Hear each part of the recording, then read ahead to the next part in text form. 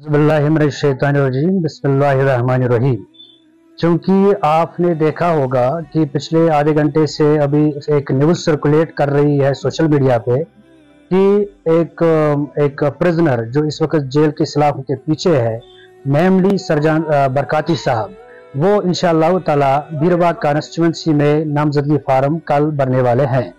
इस सिलसिले में आज मैं आपके सामने मुखातिब हुआ हूँ और मैं अवामुल नास पर्टिकुलरली जो बीरबा कॉन्स्टिट्यूंसी के हमारे जी शूर लोग हैं, हमारे नौजवान साथी हैं, हमारे माएँ और बहनें हैं, उनसे मैं ये बिल्कुल आपके माध्यम से वाजिया करता हूँ कि ये बात बिल्कुल दुरुस्त है।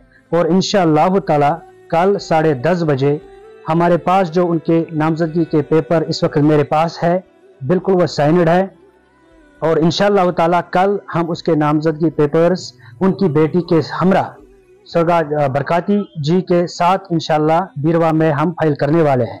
और मैं अवामुल नास पर्टिकुलरली नौजवान साथी जो हमारे हैं, उनसे पुरजोर मुतालबा करता हूँ कि वो कल इस कारवान में शामिल हो जाए।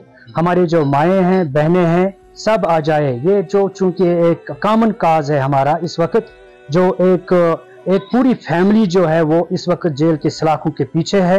एक छोटी सी बच्ची आपने सोशल मीडिया पे देखा भी होगा। चिल्ला रही है रो रही है अपने माँ बाप के लिए।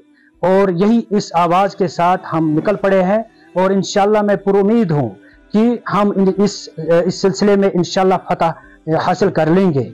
और इसी सिलसिले में फिर से मैं ये बात दोहराऊँगा कि कल साढ़े दस बजे सारे नौजवान साथी मेरे माए मेरे बहनें इस कारवान में शामिल हो जाए।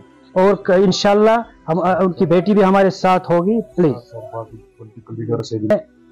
आपसे फिर से पुरजोर मुतालबा करता हूँ, चूँकि हमारी कॉन्स्टिट्यूंसी में इस वक्त बहुत सारे पॉलिटिकल पार्टीज़ जो है, उनके रिप्रेजेंटेटिव्स ने कुछ ने नामजदगी फॉर्म जो है वो भर दिए हैं और कुछ का कल उनको शायद प्लान भरने का है। मैं उनसे पुरजोर मुतालबा करता हूँ कि इस काज में हमारा साथ दे।